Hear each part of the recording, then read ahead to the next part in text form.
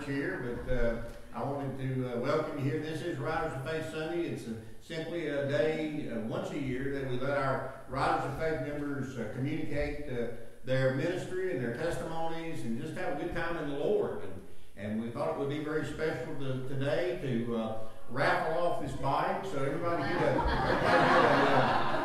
everybody get a. Everybody get a, get a ticket and we'll, we'll raffle it off here in a. But uh, uh, I, wanted to mention too the, the little uh, towel under the motorcycle, not because it's leaking oil, we didn't want to get it dirty.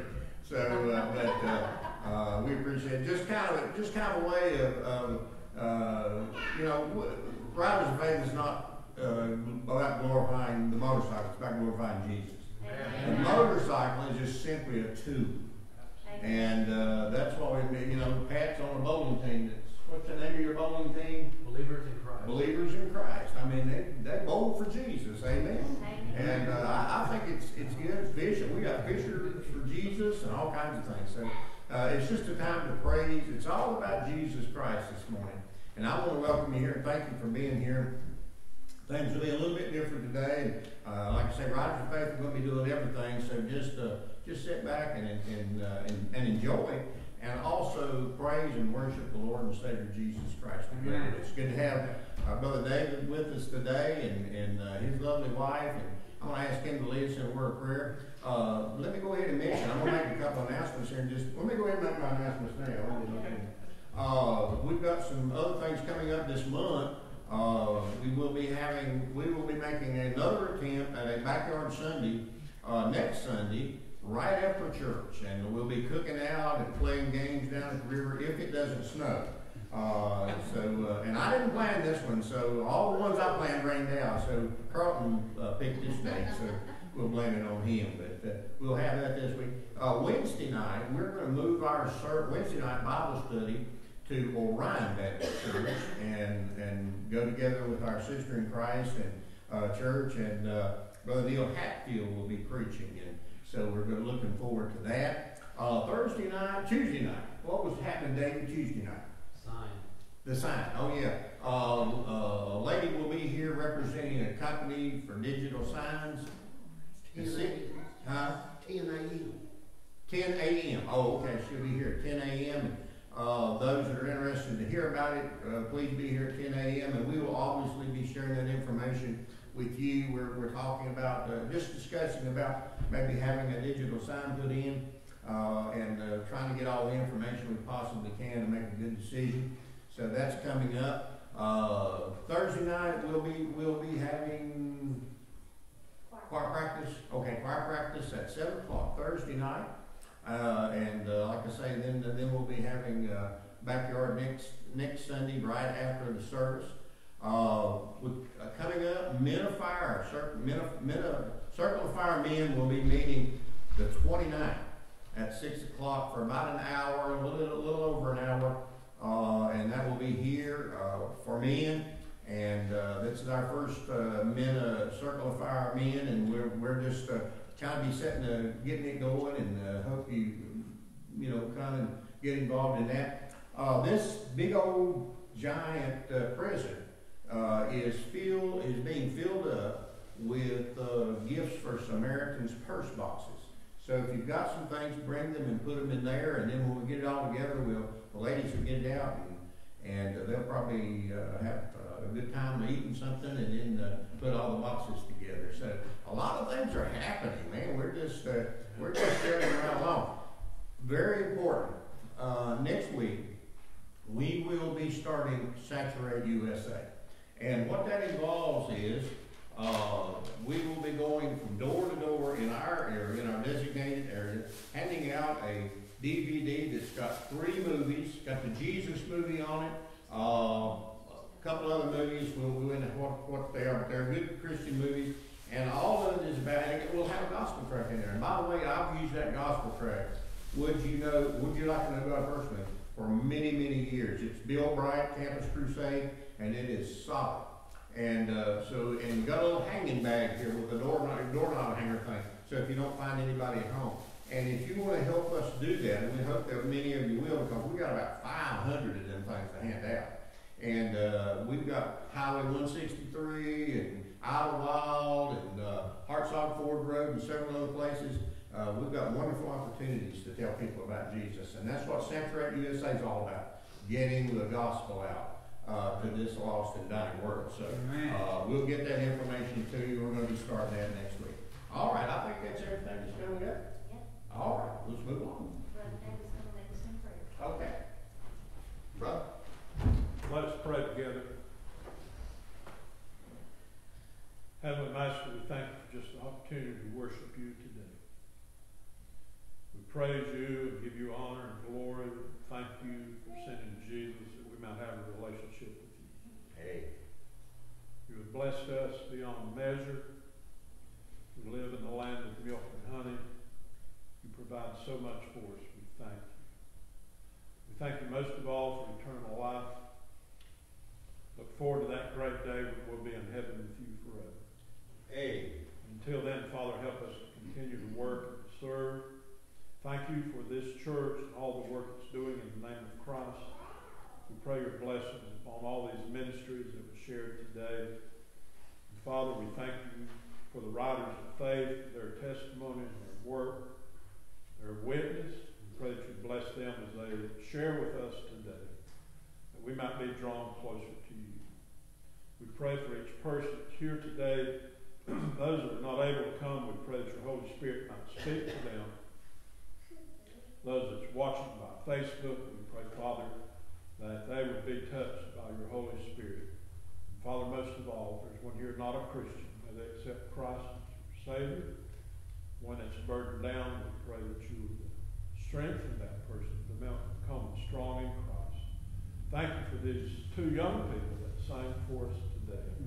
We pray your continued blessings on them as they grow and mature, become all that they can for the cause.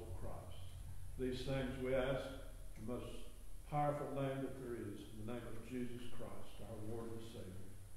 And all God's people said, Amen. Amen. Amen. Thank you very much. It always helps calm nerves and brings peace whenever we can, um, pray to God. Ask His blessing on things. Okay, you get to be involved right now, so get your hymn book and, um, join us in singing I Love to Tell the Story. We're gonna sing the first verse and the third verse. So y'all stand with us.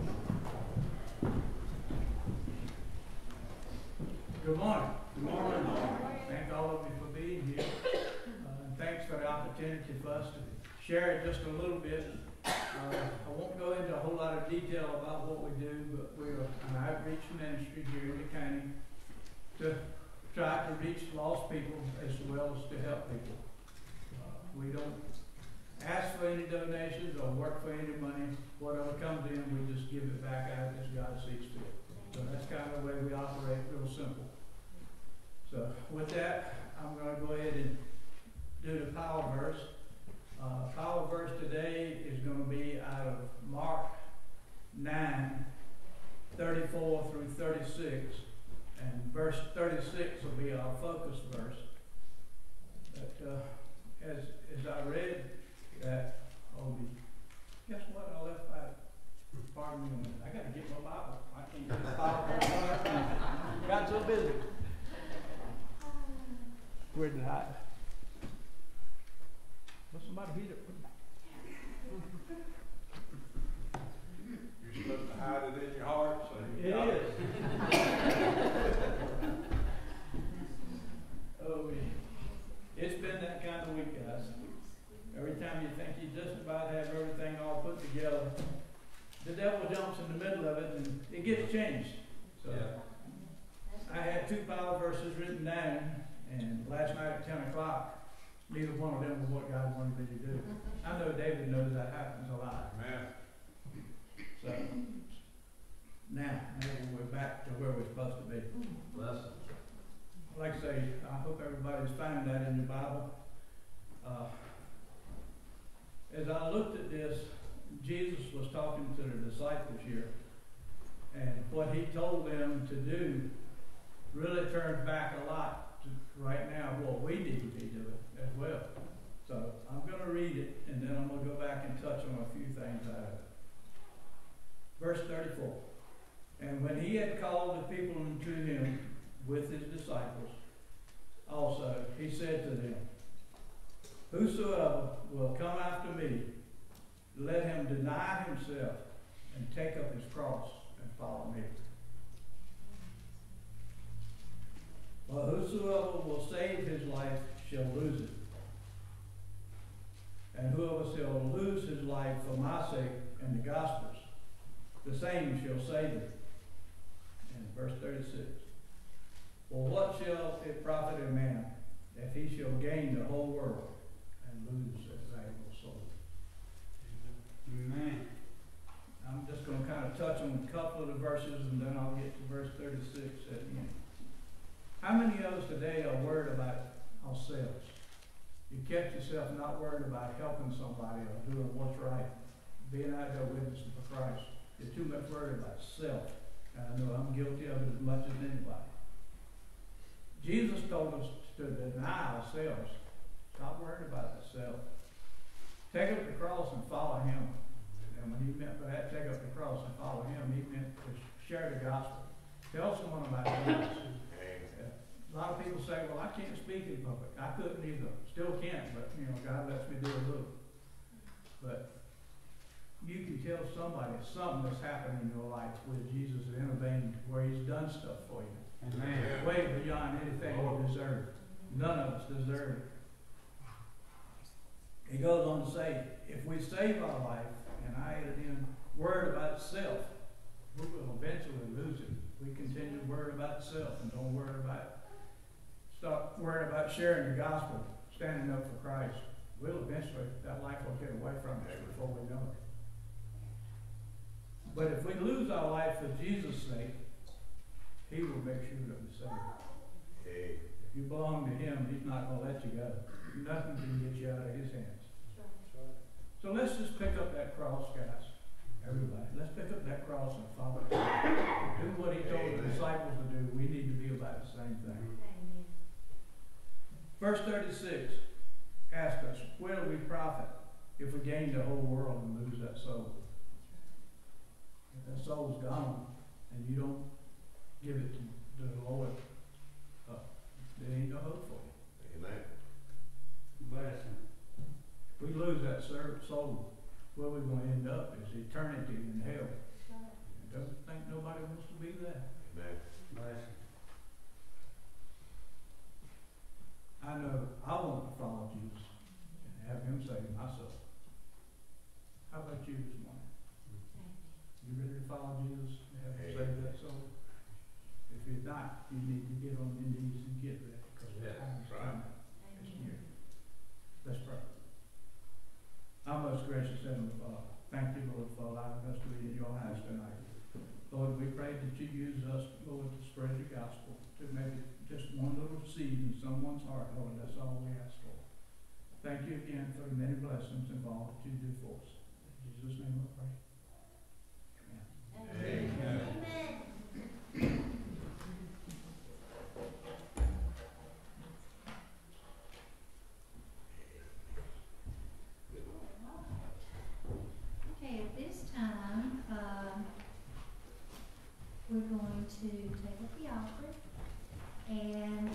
term with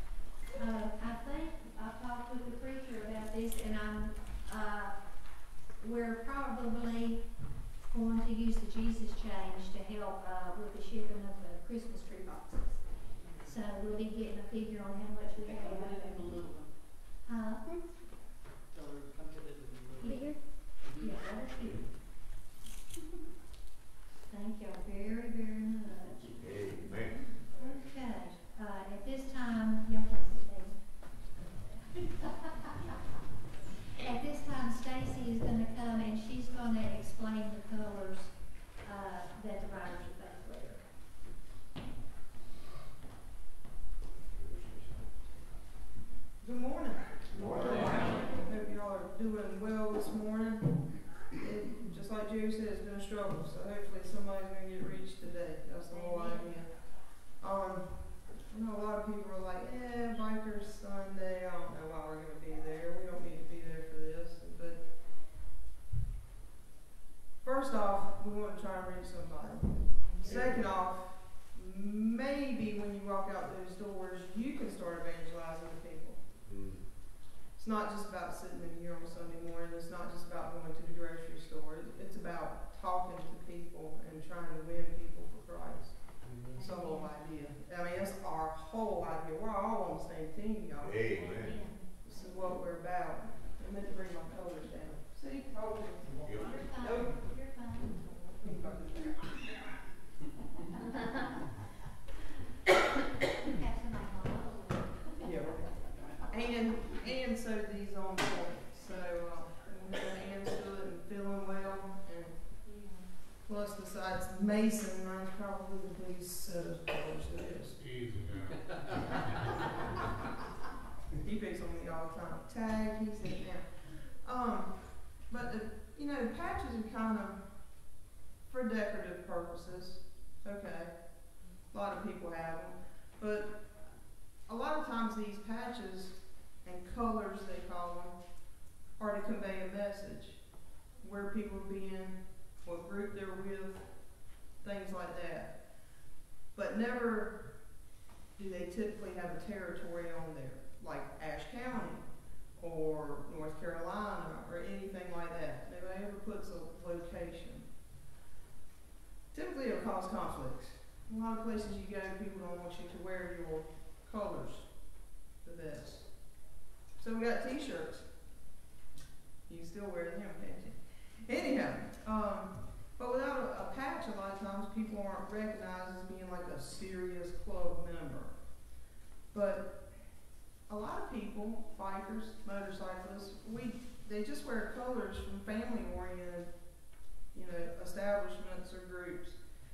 A lot of times they're chartered by the AMA, which is the American Motorcyclist Association. And a one-piece patch, although we do have a two, but a one-piece patch or a two-piece patch separates that from a three-piece patch group. Those are typically the outlaw groups. Um, but once again, no territory on there. Out of these patches, we've got 1 Corinthians 4 1 through 2. Let a man so account of us as of the ministers of Christ and the stewards of the mysteries of God. Moreover, it is required in stewards that a man be found faithful. We don't give these to everybody. Okay? You, you got to be faithful in wearing these. Just because we don't wear these everywhere we go, people know we wear these. You can't act like a fool and continue to wear these. We're a witness wherever. Man, Okay, it, it just doesn't matter unless you can hide at the beach. You're a witness wherever. Inside joke, I guess. But like I said, just because we don't have this stuff on when we go to the store, you know, you, you get up to the cashier and give the cashier a hard time. I've seen people do that. People are like, wait a minute, don't they ride with that Christian motorcycle group? Don't they go to that church? Haven't they been members there forever? Aren't they supposed to be a Christian? Need to think about that. That's what's wrong with a lot of the world right now. Amen. So, if you look on here, we do have what they have a MM here. See the MM right there? Motorcycle clubs have an MC. MM stands for motorcycle ministry. There's a couple of clubs that are Christian clubs, but they say they're motorcycle clubs because not everyone is a minister. Well, that's not what my Bible says. Right. We're all ministers. Um, our territory is not listed on there because we know our territory is the lost, the unsaved, Amen. the hopeless. Bless We all got hope. Amen. There's gonna come a day, and we need to carry everybody we can. Amen. But these colors represent the one who suffered, bled, and died for our sins. Amen. And we're all sinners. Amen. Bless you. The patches are for others to see and know who we represent. We're here to help, pray, support, and lift one another up regardless. Sinners, Christians alike. It's what we're here for. It's what we're all here for as Christians. We're to go out and preach the gospel. Time is short. We need to take everyone we are able to reach into glory with us on that day. So let your light shine before men that they may see your good works and glorify your Father which is in heaven. Matthew 5 16. And Paul wrote, Unto me, whom, who am I? Wait a minute, me, it. Paul wrote, Unto me, who am less than least of all saints, is the grace given that I should preach among the Gentiles the unsearchable riches of Christ, to make all men see what is the fellowship of the mystery, which from the beginning of the world hath been hid in God, who created all things by Jesus Christ. The mystery is that everyone can receive salvation equally through Jesus Christ. Amen. Paul was saying Gentiles and Jews. Mm-hmm. It's all of us. That covers everybody. And John 3:16, for God so loved the world that he gave his only begotten son, that whosoever believeth in him should not perish, but have everlasting life. Amen. Everyone, everyone is a whosoever. No matter what they've done, no matter where they've been, we've been there too. Go out and reach people, Amen. colors or not. You Christians, that's what we're to do. All right. Amen. Amen.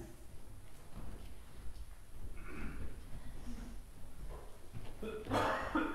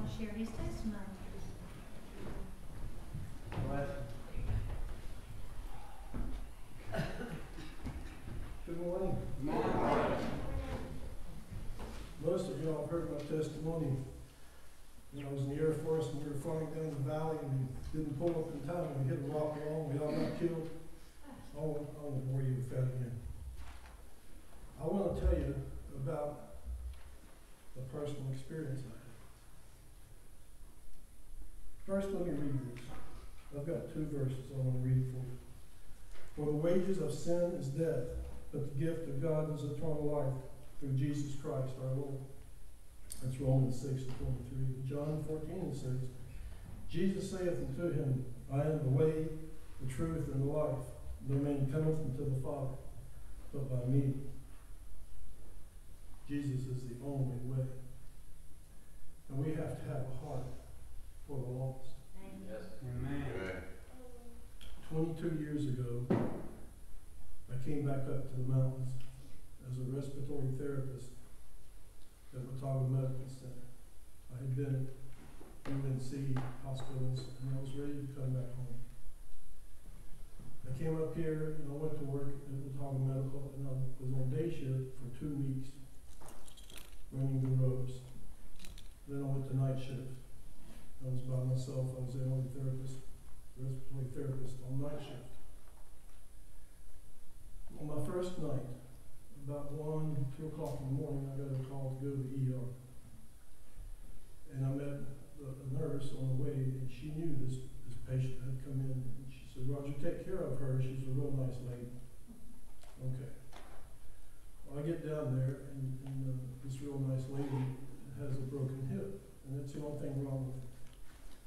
And as a respiratory therapist, I had to go because everybody that comes into the hospital, they, they put you on two liters of, oxygen. So that means I have to go. Well, this woman was distraught, and she was really upset. I said, honey, it, it's gonna be okay, it's just a broken hip. We'll, get you mended, you'll be out of here in a few days. No, she was upset.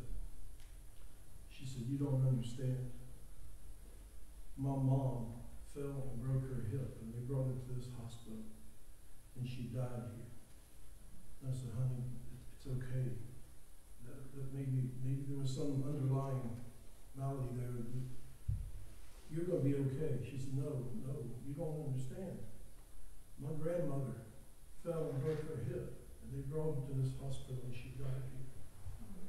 I said, no, I hope none of you guys know this lady. Her Miss Williams, because I don't remember her name.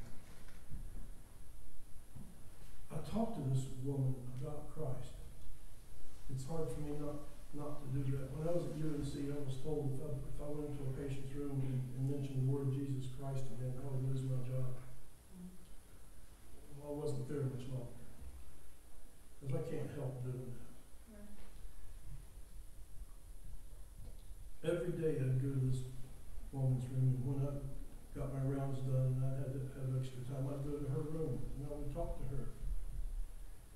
And she would always say the same thing, well, I don't know, I'm just not ready. I'm just not ready.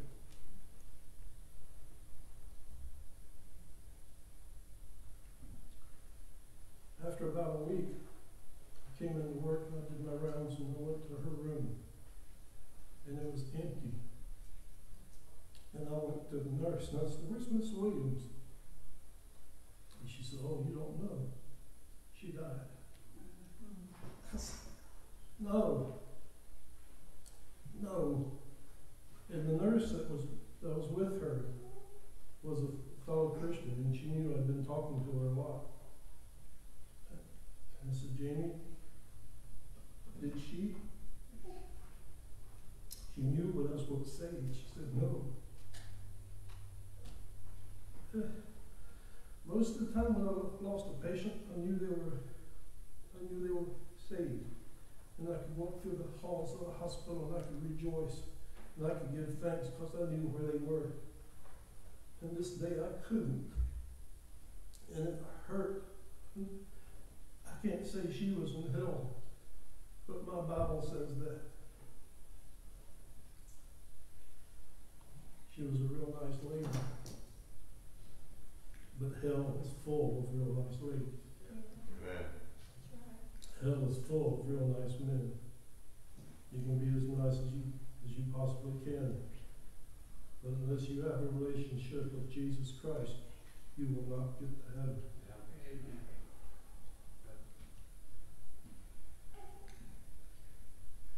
I see Rick standing up here, and sometimes he gets real emotional, and his eyes get full of tears. And I would pray, Lord, let me have that kind of heart. And God must have answered that prayer in the affirmative, because I can't see.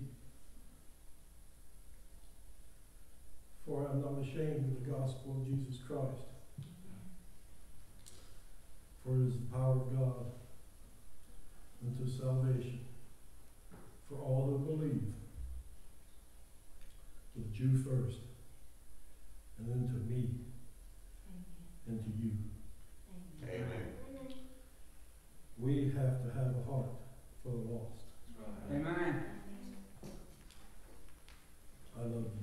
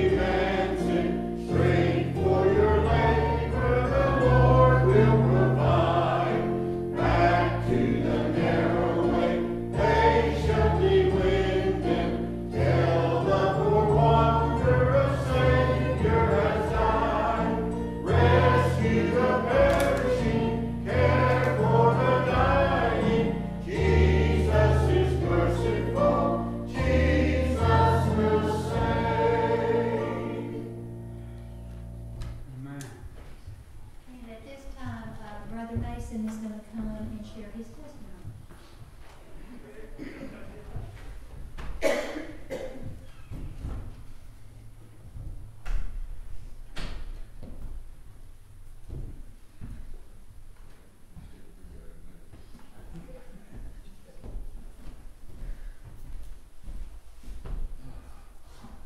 Good morning.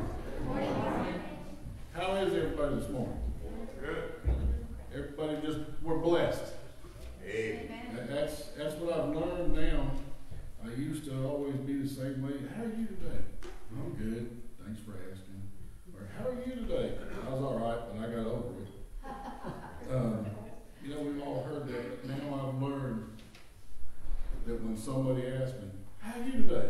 I'm blessed. The Lord has a reason for us all here. And the Lord has a reason for me. So that's why I'm no longer just here and I'm not just all right. I'm blessed. Um, years and years ago, I was not a good person. I was, I was a person that the devil had overcome and he had gotten a hold of me and he ruled me. I did things that I am so embarrassed and ashamed of. I did things that I wished I had never done. And I thought, you know, well, I guess I'll just live this life because I'm worthless to anybody else. You know, the devil's got me and that's the way it's going to be. But then one day, well, it's, I, I've been going to church every Sunday, but y'all know, y'all know the Sunday churchgoers, right? You know the ones that they go, they sit in the pew, yeah, we sing, you know, they have their hymn books and it's, you know, that was me. So I went to the building. I never went to church. And finally I kept going and kept going. And one day I was sitting there. My family had no idea, no one did. And I was sitting there and the word that the preacher gave that day just reached straight out to me, snatched a hold of me, and the Holy Spirit said, Boy, that's it. It's Amen. time." And when he got done, he did the altar call. My family had no idea I was going to do it. I didn't even know at that point in time. But the Lord did. Amen. And the Lord snatched a hold of me, and I got up and I walked up that long aisle by myself.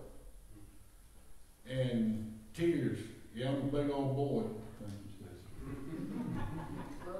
But uh, I cried like you would not believe. From the time I got out of that pew, I can't tell you when I stopped. And of course, you know I was in the very, very back pew. You know how those people are. You know, you know what I mean? And uh, so I cried the whole way there. My preacher just kept staring at me, wanting to make sure I didn't quit. And he just looked at me, and I looked at him, and all I could say was, Thank you. And I just looked it to him, and he said, Come on.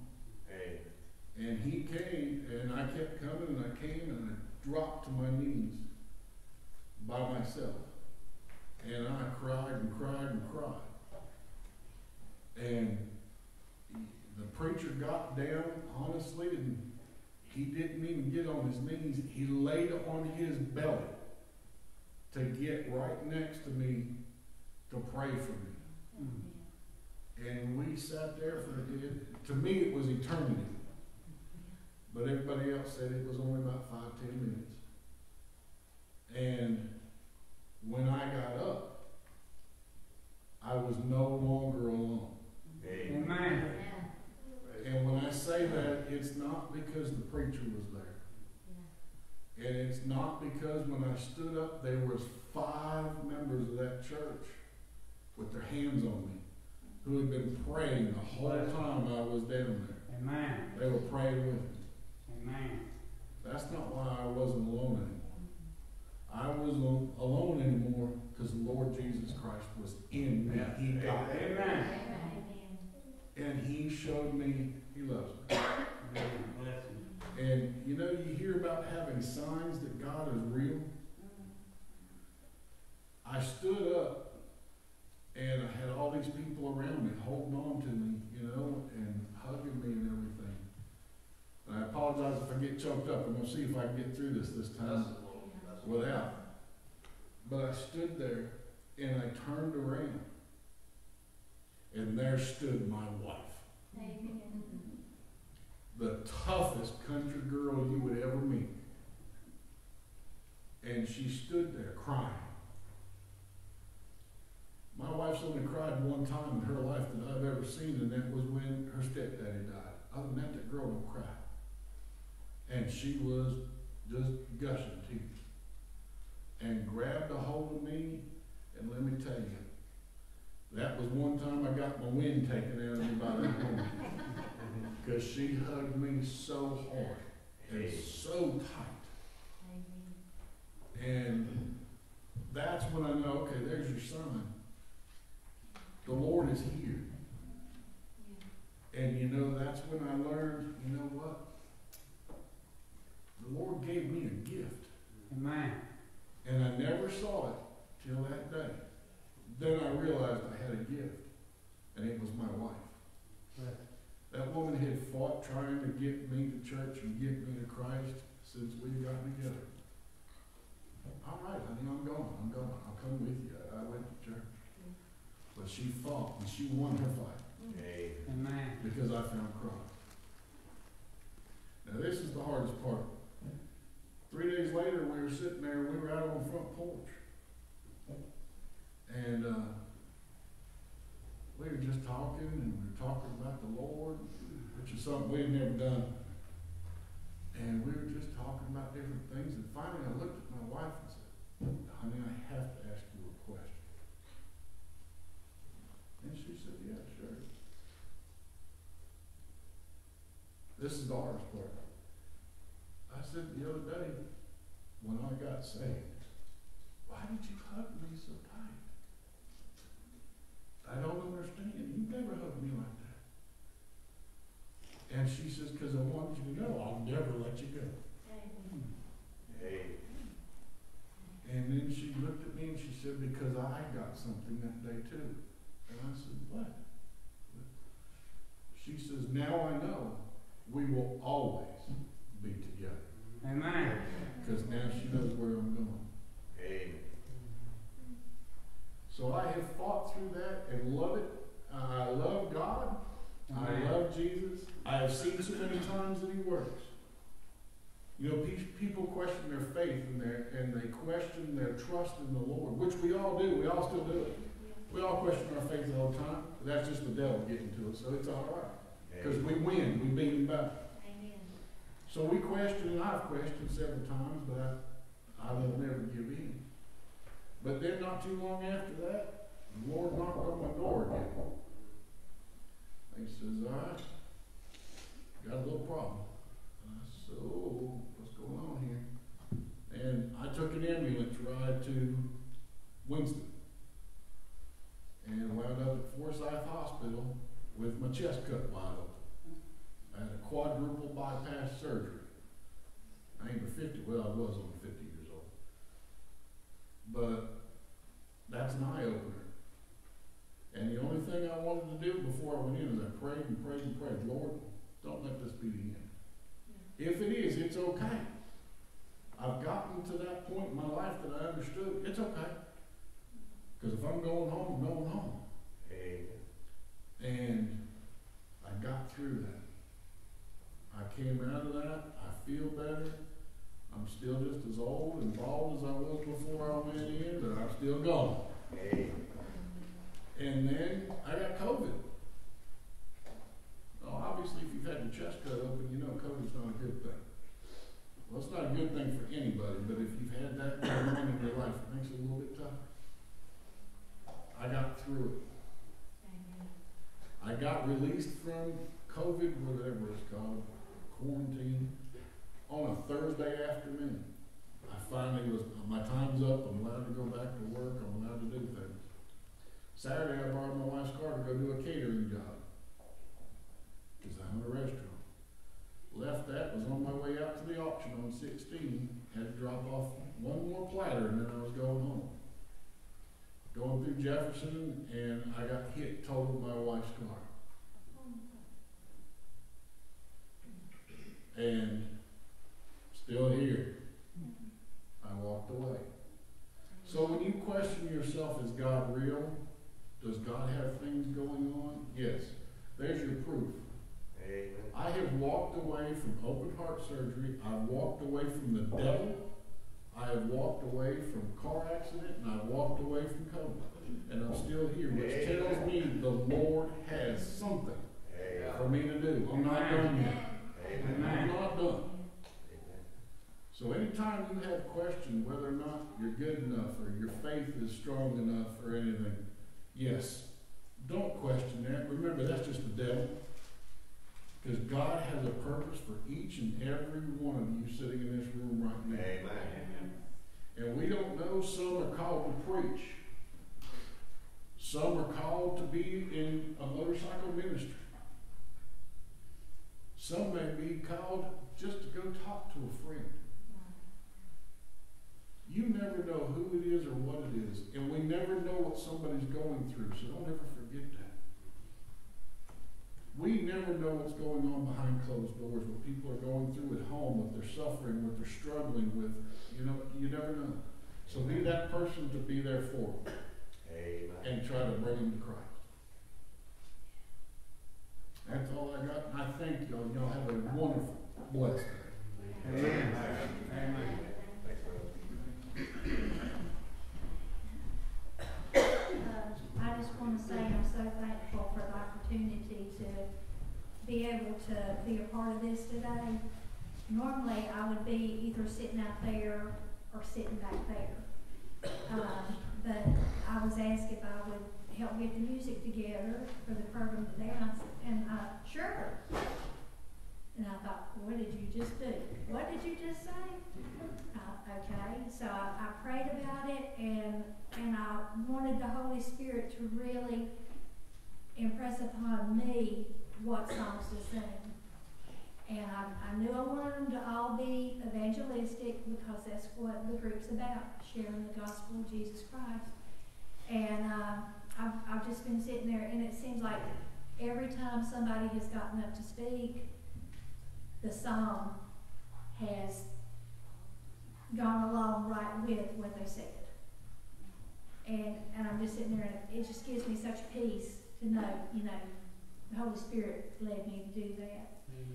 And um, I'm going to share a song with you this morning, and it's it's all of our testimony of what Jesus Christ did for us.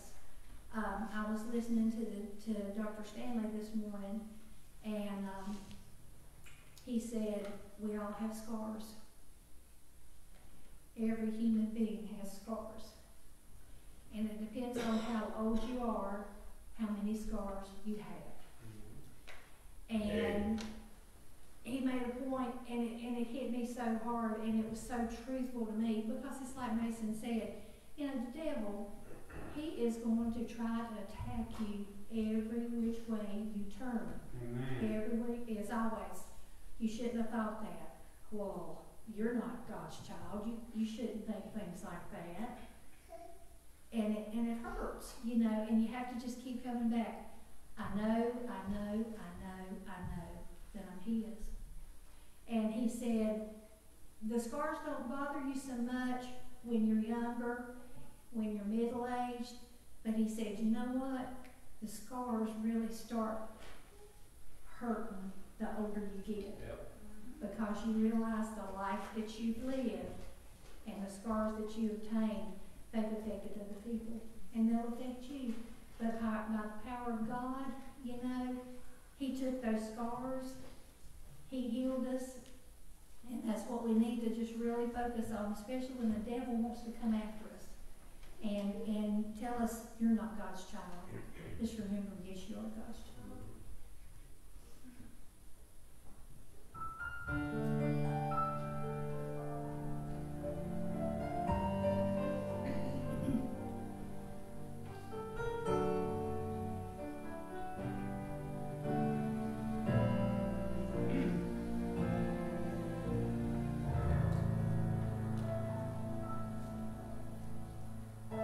heart was broken, mine was mended.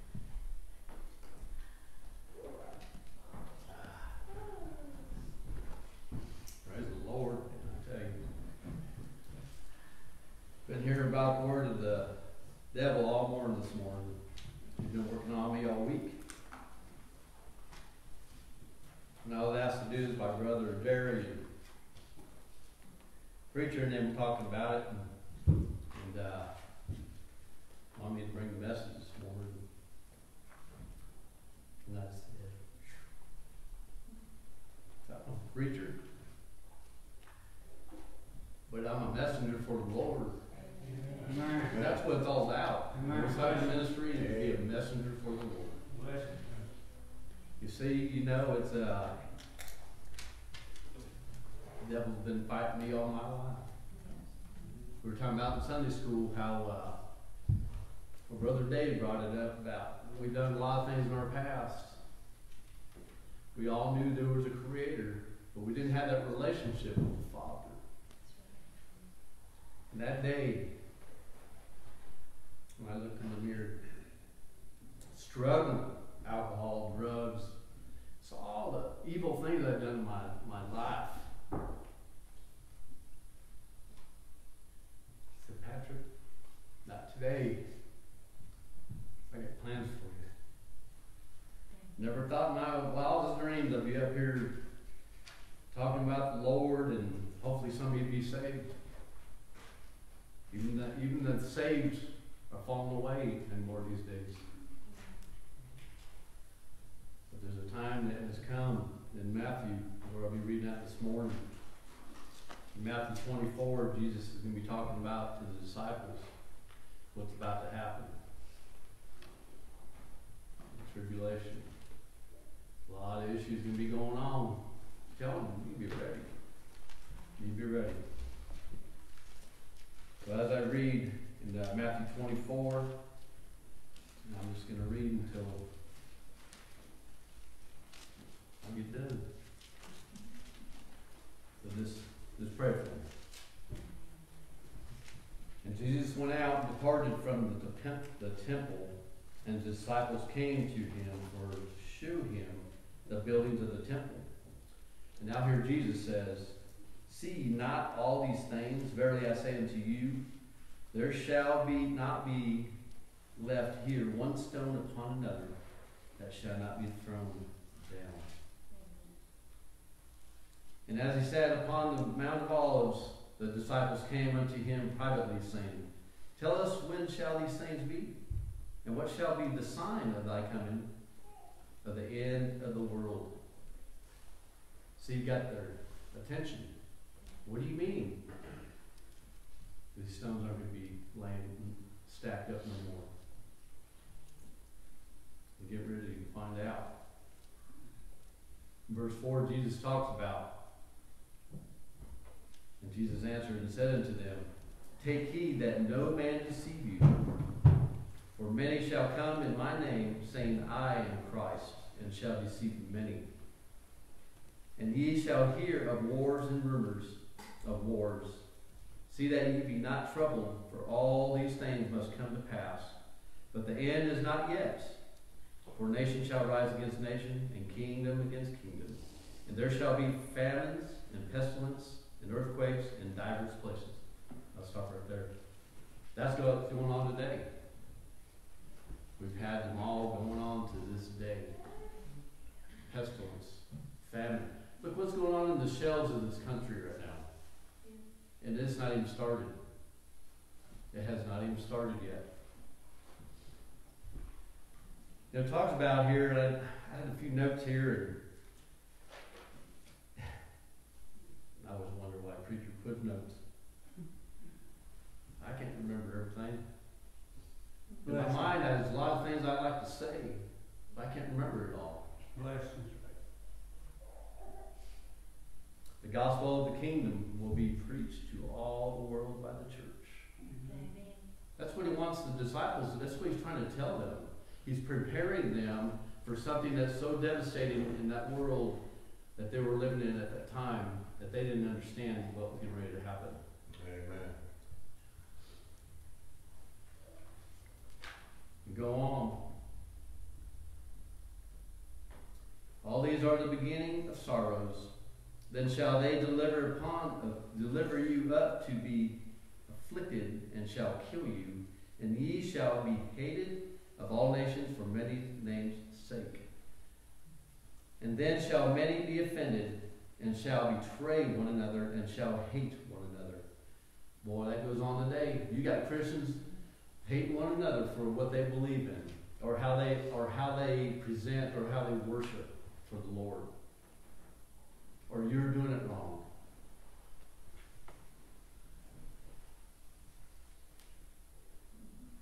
And many false prophets shall rise and shall deceive many. And because iniquity shall abound, the love of many shall wax cold. But he that he that shall endure unto the end, the small, the same shall be saved. If we're going to stand for what we believe in, be ready. He's telling the disciples, be ready. He's not going to tell them everything's going to happen. He's just letting them know there's something to come. You need to trust me. The focus of this message is to be obedient, to stay focused in my word, and to be trustworthy. This is what he's telling them.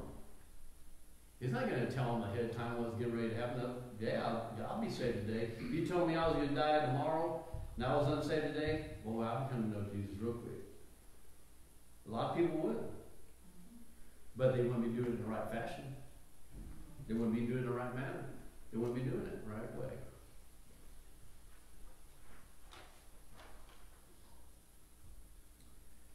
Matthew 24, I wrote a few words here. It says, uh, it's right before Jesus' crucifixion. That's what we're reading about, okay?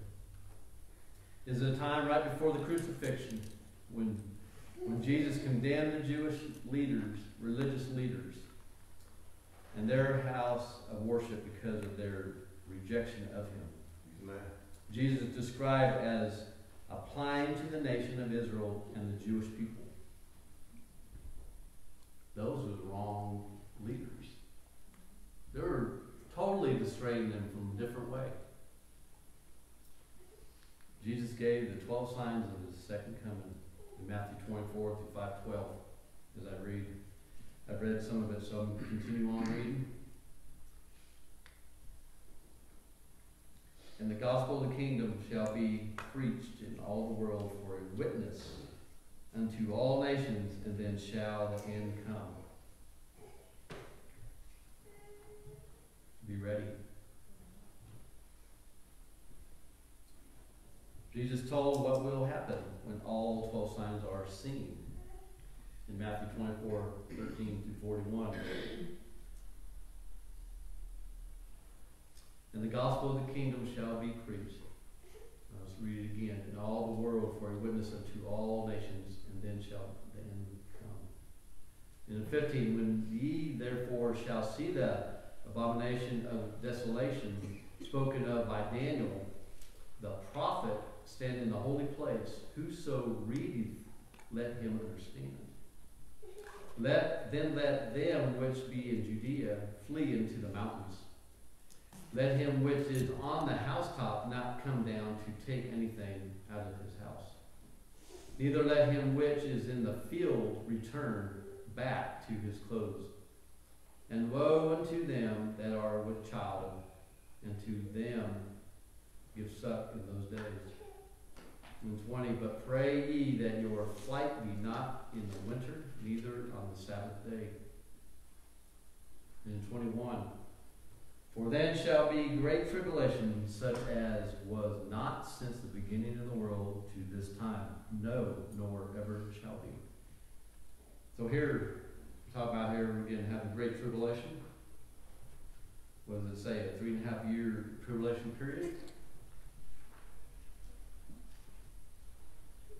Here Jesus told how those who are alive and survive through the times of all twelve of these signs take place worldwide, and that's to be immediately.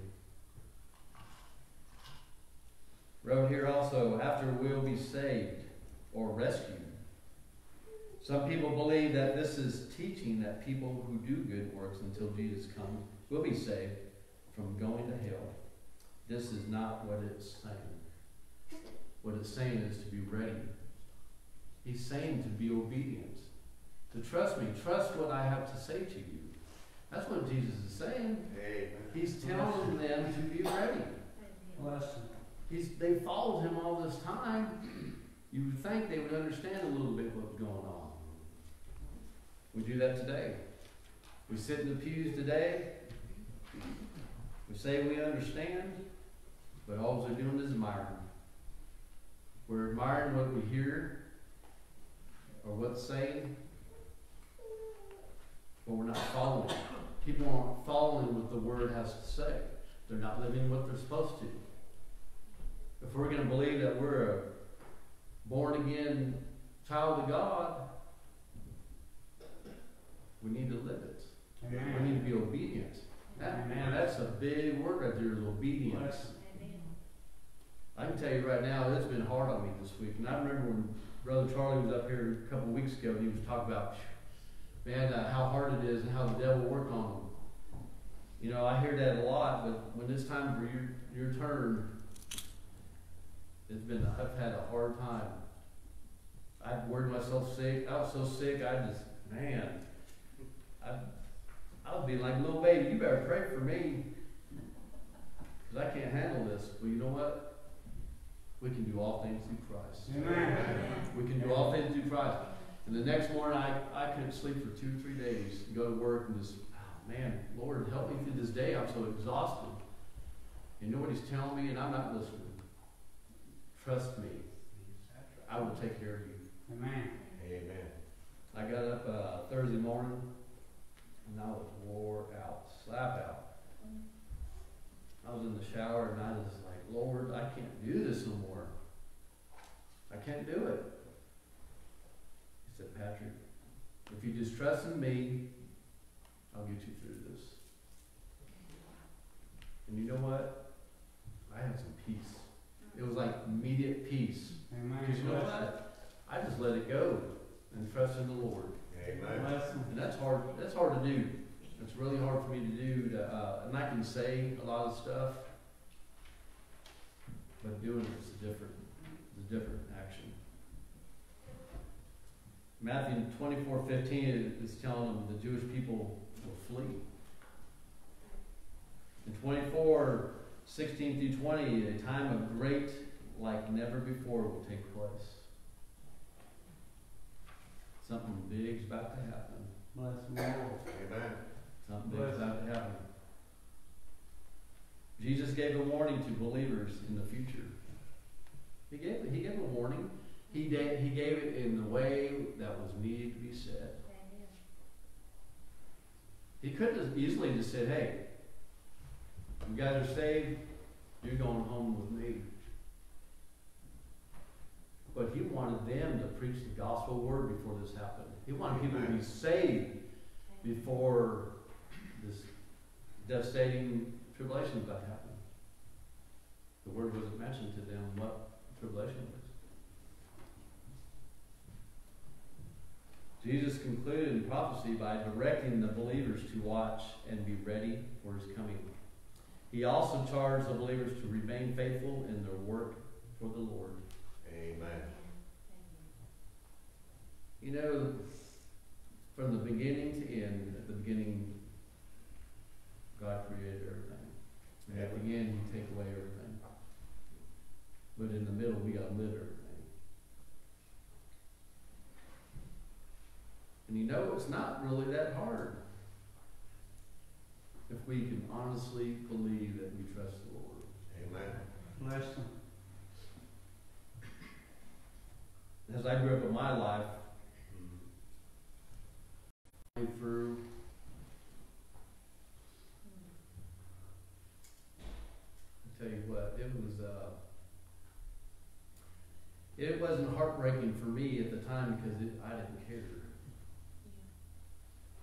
Because when you're an unbeliever, you don't care about nobody. And I'm not going to say everybody's the same way, because you got some unbelievers that are the best people in this world. But you know what? They're most they're more lost than I was.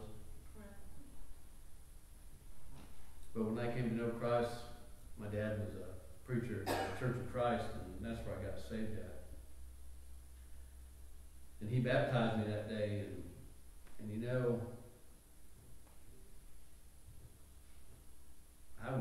broken. I felt some relief that day. But something happened uh, a couple months later. I went back out, started using again, and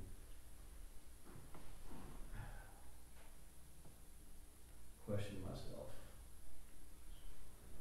You see, I was still weak, man. I was still a new child. Didn't have that structure. I knew I got born again. But did I truly get born again? And that's when the old Lord spoke to me again. He goes, Patrick, you need to get back and repent of your sins. Amen. You need to repent because Bless them. you asked for me, and yet you're going to try to deny what you did for me. You need to go back. You need to come back. Bless them, Lord. It took me a while to get back. Amen. It scared me. We shouldn't be scared. We shouldn't be scared of dying. I used to be scared to go to sleep at night, Bless them, afraid.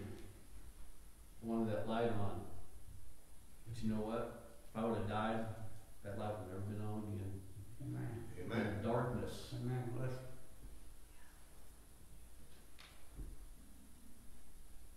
And Go on and read some more of it. This is good stuff, isn't it? Amen. It really blessed my heart. Bless them, Lord. 22, and except those days should be shortened, there should no flesh be saved. But for the elect's sake, those days shall be shortened. Then if any man shall say unto you, Lo, here is Christ, or there, believe it not. For there shall arise false Christs and false prophets, and shall show great signs and wonders, and so much that if it were possible, they shall deceive very elect. Behold, I hold to you, hold, excuse me, behold, I have told you before.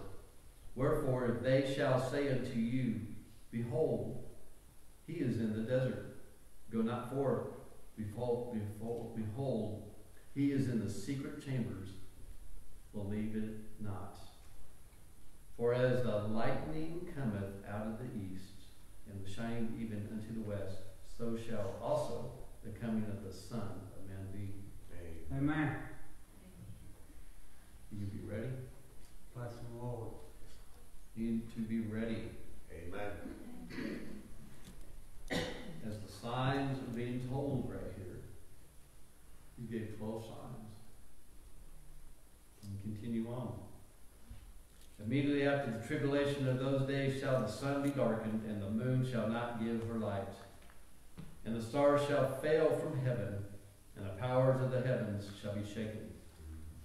Man. Are you going to be one that's going to be going during that time? Or are you going to be left behind? We got many that say they're saved. This is show to mankind what they believe. But they're not showing the fruitfulness. Bless them. Bless we are going to recognize we are Christians, we need to show the fruitfulness in our lives. Don't get me wrong. We fall short daily. Bless them. He gives us that mercy, merciful love, that grace that we do not deserve.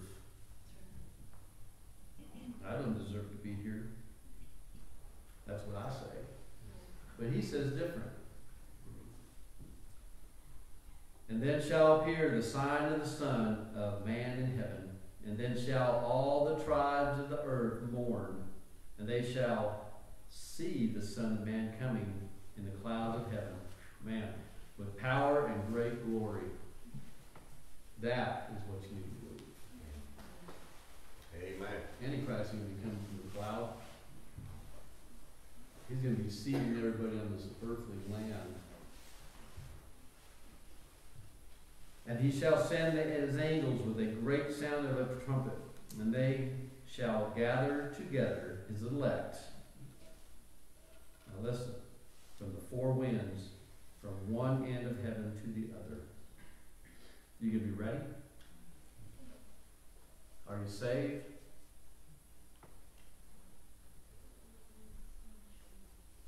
Hey.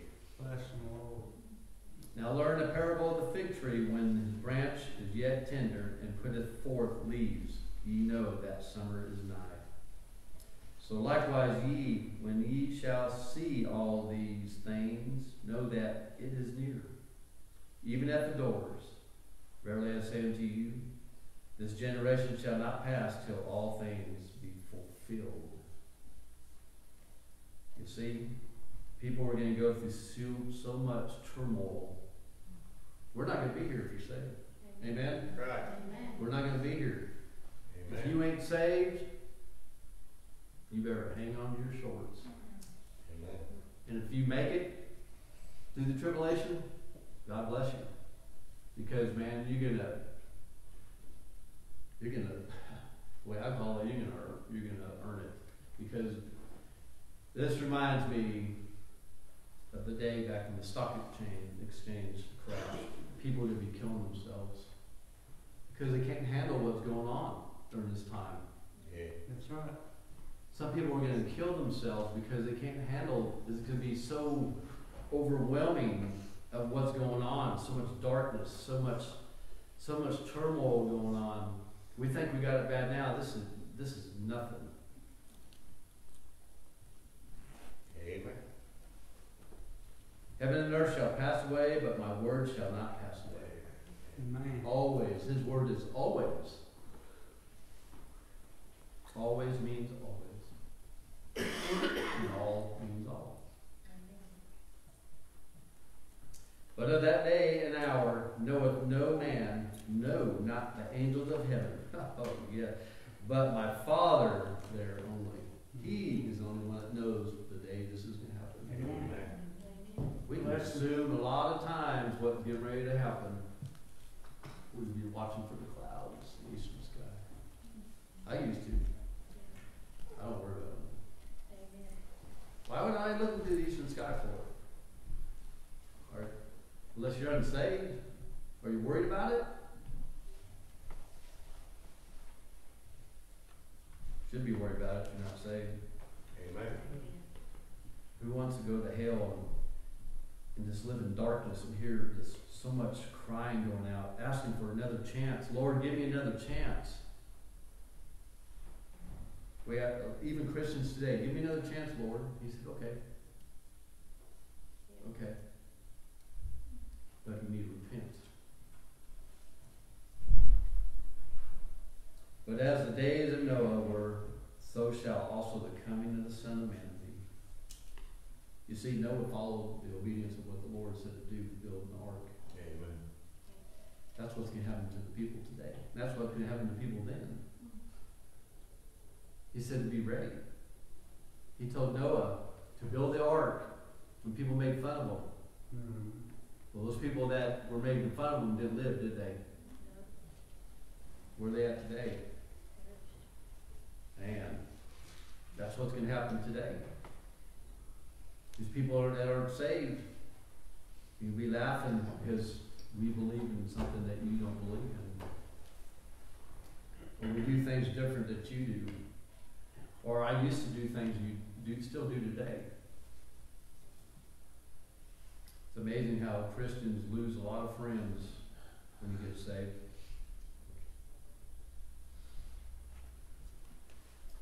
For as in the days that were before the flood, they were eating and drinking, marrying and giving in marriage until the day that Noah entered into the ark.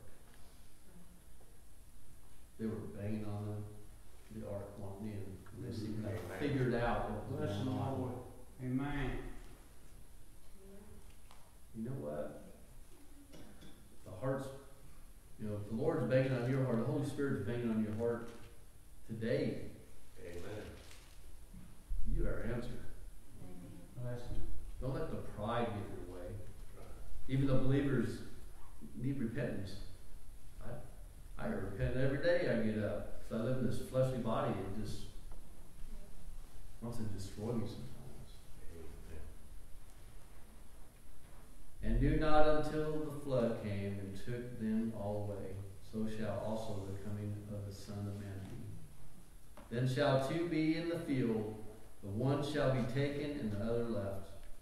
Two women shall be grinding at the meal, the one shall be taken and the other left. Man, that'd be awful to have a husband and wife and one's going and one's not, wouldn't it? Yeah.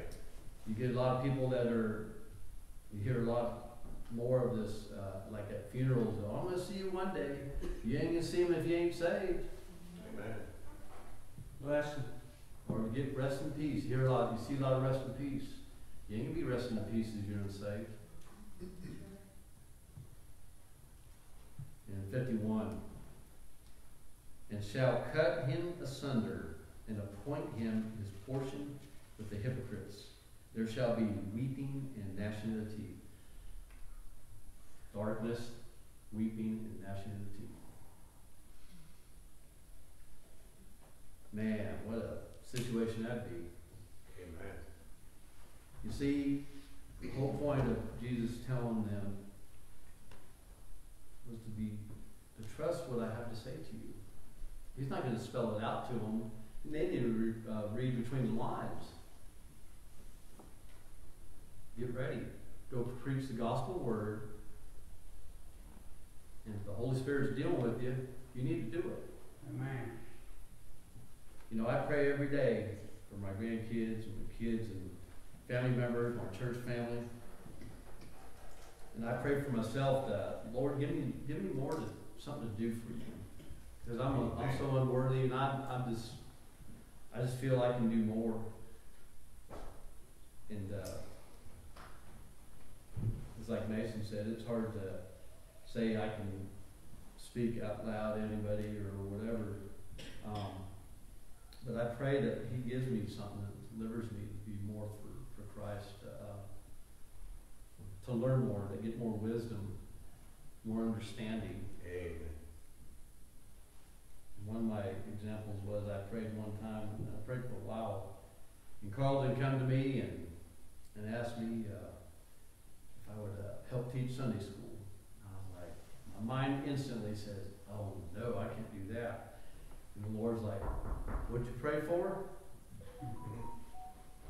That's what we do. it. what Brother Jerry always says. We do it for one reason. It's for you. Amen. Amen. Well, I continually pray and pray for myself. Lord, give me something more to do. And Brother Jerry comes to me. And I thought, well, let's just get help with the offering or something like that. No. He said, him and Preacher Rick were talking He said, I can uh, bring a message for the Rider of the faith this day. And again, I thought to myself, man, I can't do this. And the Lord says, yes, you can because you asked for it. If you're going to pray, you better, you better be ready to, to take the responsibility. And the only reason I do this is because the Lord saved me. He gave me, He gave me His love. He died on the cross for me in Calvary. Thank you, Lord. Amen. There's been many times in my life that He could have took me out during my drug abuse and alcoholism. There's a lot of things I've done in my past that were so broken, and I'm still broken today. But you know what? Slowly mending, slowly mending, because one day I'll have victory and I'll be in Jesus the day I go home. Amen. Amen. And in closing, he gave direction and a warning to believers in the future when all 12 signs that Jesus mentioned are beginning to be seen on a worldwide basis today. Believers can know that it will not be long before the final events. Praise the Lord. You better be ready. And if you ain't, you better come to know Jesus. Amen. Amen. That's the bottom line. Amen. You Amen. can either take heaven or hell. That's one or the other. It's hard. That's a hard word to, to fathom. And a lot of people don't want to hear the word hell, but that's the true fact. And heaven Amen. and hell is real. Amen. Amen. Take place, and our work here has never been so important as of today. Amen. This is what our, our work is. And a lot of people think being uh, a good person and doing uh, good works, being a good person. No. Good works and boasting. You're not boasting anymore. What I've done for this person, that person. You don't do that. You just do it and go on. But this is what we do. This is what we represent as the Most High Ministry, is to represent Christ through our ministry of, of writing. Blessing. It's like, uh, Stacy said, you know, not, we wear this all the time. We don't wear our shirts or, or vests. But people see us. Do they want to see us as Christ-like? Or a bunch of heathens? Mm-hmm. Right? So let's just remember what the Lord's done for us. And if anybody's here today that don't know the Lord, today'd be a good day. Amen. But any day is a good day. And this altar's always open. But if there's anybody here that needs to come to know the Lord, today's a good day. Amen. And I'm gonna turn this back over to Brother Rick or Jerry. Thank you for your time. Blessing. I'll